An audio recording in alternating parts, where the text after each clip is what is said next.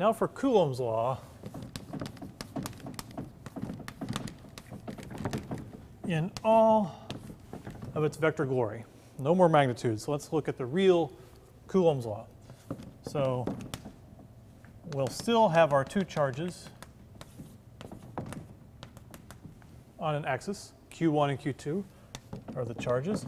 And we're now going to call this 1, 2, R1, 2. Okay, so R1, 2, R1, 2 is the displacement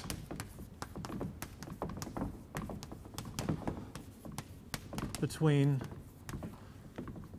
charge 1 and charge 2. The displacement if you go from 1 to 2. So the actual force that we want to calculate with, with uh, Coulomb's law is F12. So F12, let's be clear what that means. F12 is the force Q1 applies to Q2. Okay, so F12 is experienced by Q2. It's applied by Q1. If you're going to draw it, you would draw it over here. F12, the force 1 applies to 2. It's equal to Coulomb's constant, Ke, just like before. The charges go up in the top, just like before, Q1 times 2Q times Q2. Uh, the separation goes in the bottom, R1, 2 squared. So that's the same magnitude as before. We just have some extra notation to keep in mind who is applying force to whom. And then finally, we need the vector part. We need this to be a vector, and you do that with this thing, r hat 1, 2. Okay. So we have many kinds of hats here. We have vector symbols, we have nothing, and now we have this, r hat 1, 2. And this is a unit vector along the Q1, Q2 axis.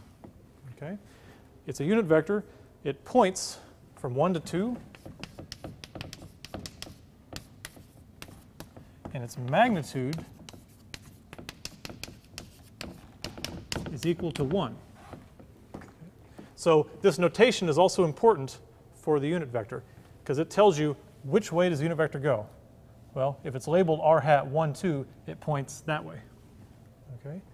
And its magnitude is 1. What it does is it gives this a direction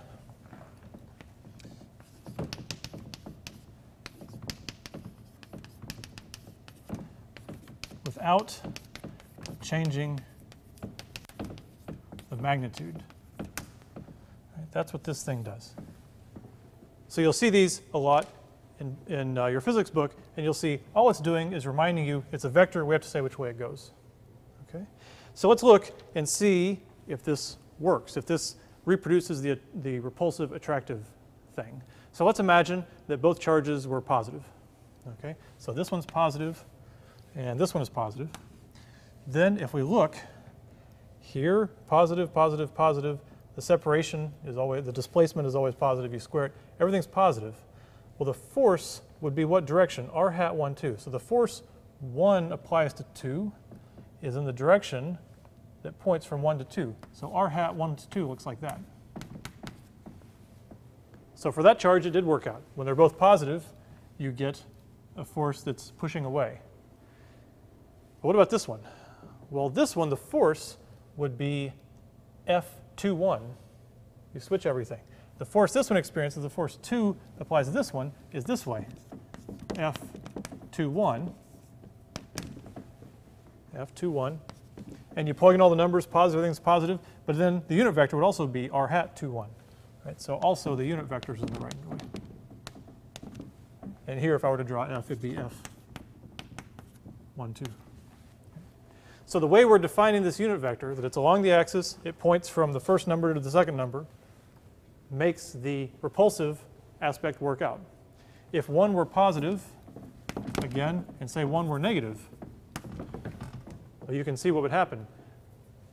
The magnitude would be negative. It would point in the opposite direction as the unit vector.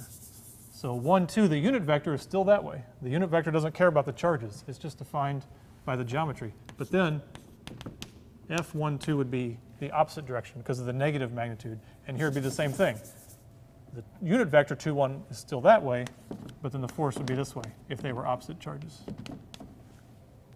So you can see the way we're defining the unit vector does reproduce the attractive and repulsive for um, opposite and like charges. So unit vectors are important. They really do help you see which way a vector points, and we're going to play with them quite a bit more as we move along.